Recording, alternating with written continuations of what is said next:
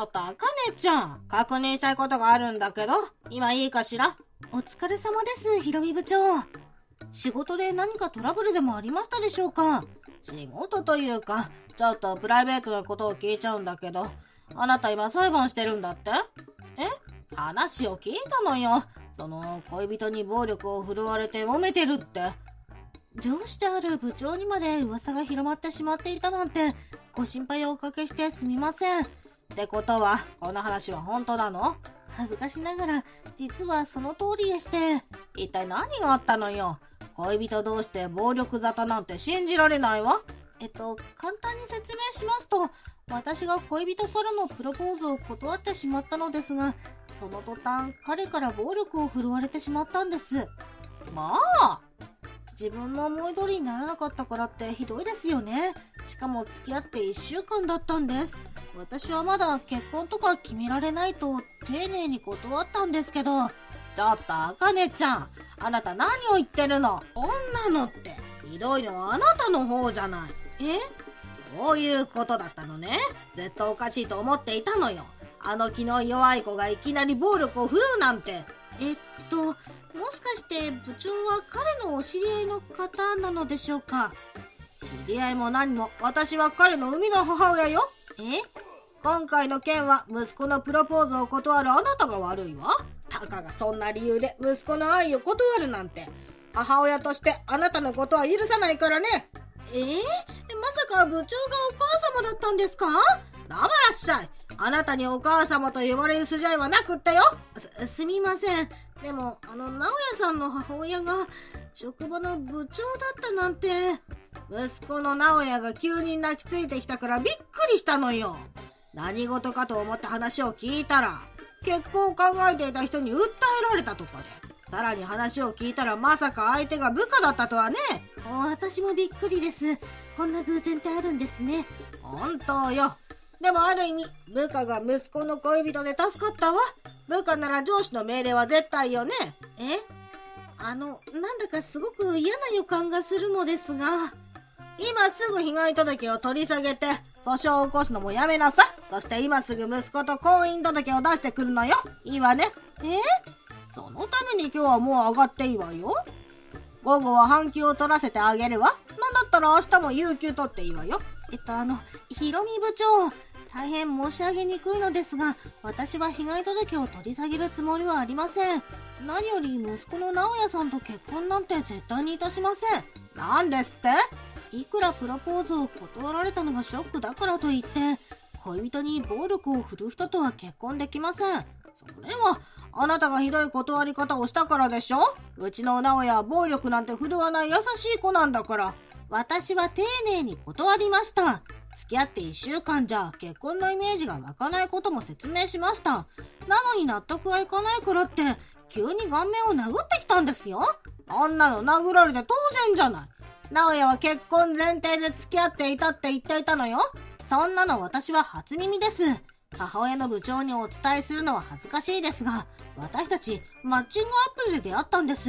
そして飲んだ酒の勢いで付き合ったに過ぎません。え？お互いフリーだし、いっか、みたいなノリです。完全にアルコールの勢いです。これのどこが結婚前提だって言うんですか？で、でも、息子の直哉は結婚前提だって言っていたわ。アプリでの出会いだろうと、酒の勢いだろうと、息子にとっては結婚を前提とした交際だったのよ。だとしてもですよ。結婚前提なのに、断られたからって暴力を振るっていいんですか？私、直哉さんのせいで全治1ヶ月の打撲になりました。診断書もありますし、被害届は取り下げませんので。ふざけないでちょうだい。こんなことで息子の経歴に傷をつけるなんて許さないわよ。傷をつけたくないのであれば、私の慰謝料請求に応じることが一番だと思います。示談でしっかり治療費を支払っていただければ、こちらも被害届は取り下げます。殴られた理由はあんたにあるのに、どうして息子は治療費や慰謝料を払わないといけないのよ。殴った方が一番悪いに決まっているじゃないですか。部長だってそんなこと分かっていますよね。息子の可愛さゆえに応援したい気持ちはわかりますが、部下があなたの息子のせいで顔に傷を負ったんですよ。うるさいあなたが最初から OK していれば息子は殴らなかったわだから一番悪いのは断った方つまりあなたこのまま息子を訴えるつもりなら、あなたはクビだからね。えー、部長命令に逆らっているんだもの当然よ。こんなのが当然だなんておかしいですよ。部長、冷静になってください。私は至って冷静よ。だから冷静に、そして的確に、あなたの懲戒解雇処分決定通知書を書き上げたわ。えー、いい？親ってものはね、どんな立場だとしても子供の一番の味方でいるものなの。私は直哉の親として部長の立場を大いに利用させてもらうからね。そんな、こんなことでクビだなんて。嫌ならとっとと息子と結婚しなさい。早く息子へ被害届を取り下げてプロポーズを受け入れるのよ。じゃないとクビにしちゃうからね。こうなったらこちらも最終手段。そちらが先に親を出してきたんですからね。え？そっちが親を出すなら、こっちも同じことをするまでですよ。強引に私をやり込めようとしたこと、後で後悔しても遅いですからね。あ、あかねちゃん私が急に僻地に移動になったんだけど、どういうことなのよ？昨日言っていたことってまさかこのこと？人事部から説明を受けていないんですか？移動処分の理由、普通は聞かされると思うんですが。な、何も聞いていないわ？むしろ聞こうとしたけど、これ以上何も聞くなって、なんだかすごく青ざめて油汗もすごかったし。あちゃー、これはもう人事部が手をつけられないほどご立腹なんでしょうね。会社社長である私の父が。え？そりゃそうですよね。だって娘が顔面をグーで殴られたんですもの。親なら誰だってブチギレますよね。え、え、娘って？はい、お察しの通りです。私、社長の実の娘です。ええー、仕事は仕事ですので、公私混同は避けていたのですが、でも先に親の力を出してきたのは部長たちの方ですもの。こちらを出しても何も問題はないですよね。何よそれ。こんなのって力の差がありすぎるでしょ。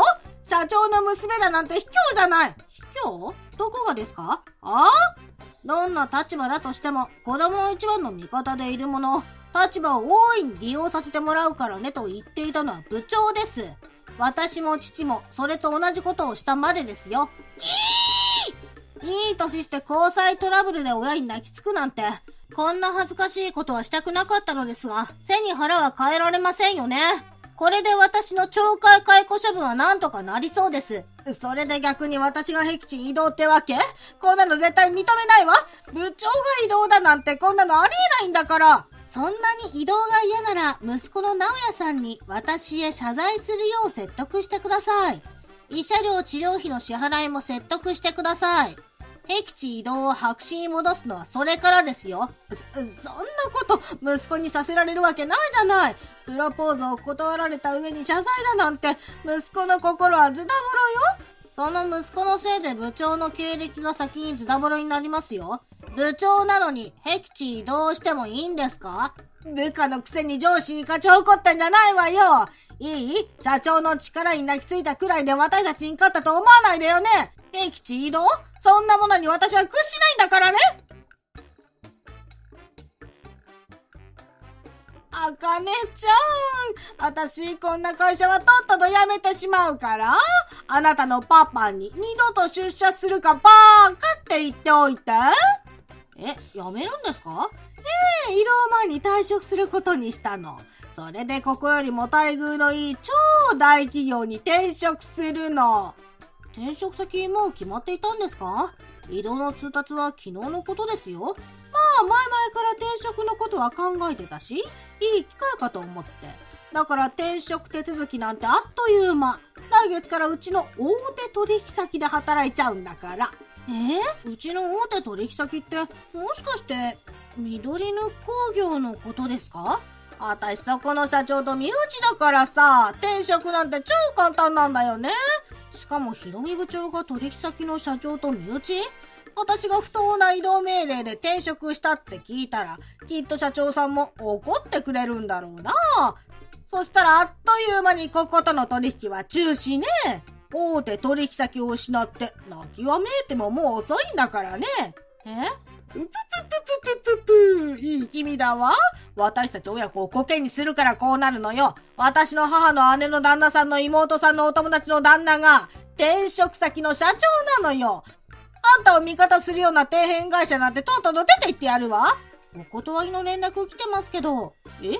まさか会社の PC アドレスで採用のお願いをするなんて、おかげで会社にクレームが来てるじゃないですか。お宅の非常識な社員から慣れ慣れしい連絡が来て困ってるって。え、え？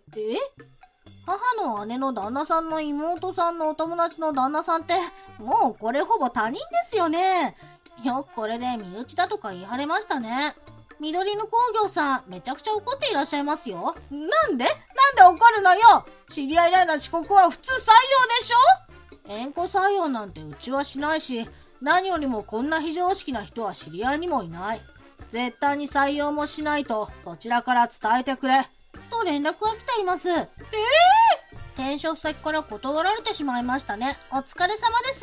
そ、そんな、社長直々にお願いしたらいけると思ったのに、母の姉の旦那さんの妹さんのお友達の旦那さんだし、絶対に大丈夫って思ってたのにいや、どこも大丈夫じゃないですよ。その頭、腐りきった牛乳でも詰まっているんですか？何ですって？あ、今人事部から連絡が来ました。ひろみ部長、朝一で退職届出したそうですね。そちらですでに受理が完了したそうです。え？ちょ、ちょっと待ってちょうだい。こっちは転職先が消えたのよ？退職届はまだ保留にしてくれたっていいじゃない。え？ここのまま転職先が見つからなかったら無職になるのよ？それならまだ僻地移動の方がマシだわ。だからお願い。まだ保留扱いにしておいてくれって人事部に言ってきてちょうだい。もう上司でもない人のお願いなんて聞きませんよ。え？というかすでに受理されましたし、撤回なんて無理ですよ。部長は今日限りで退職です。そんなせっかく部長職まで上り詰めたのに、こんな形で無職なんてありえないわこ、こんなの嘘よ夢か幻よなら一度息子さんに殴ってもらったらどうですか？顔面グーパンチを一発もらえば、夢か現実かわかると思いますよ。その後、父の紹介で雇った弁護士のおかげで、私は無事に治療費と慰謝料を受け取ることができました。そして、その後の二人はというと、母親のくせに俺を守ってくれなかったと、部長に対して息子の直哉さんが八つ当たり。早く部長クラスの仕事を探して働け俺の妻にふさわしい女を連れてこいと、無茶を言っては部長に手を挙げているそうです。最後までご視聴いただきありがとうございました。この動画がスカッとした方は高評価ボタンを。それ以外の方は下のコメント欄でご意見をお聞かせください。チャンネル登録もよろしくお願いします。あなたの評価やコメントが今後の励みになります。また他にもあなたをスカッとさせられる動画がたくさんありますので当チャンネル内の動画をぜひご覧になってくださいね。それでは次の動画でお会いしましょう緑のネタ帳でした。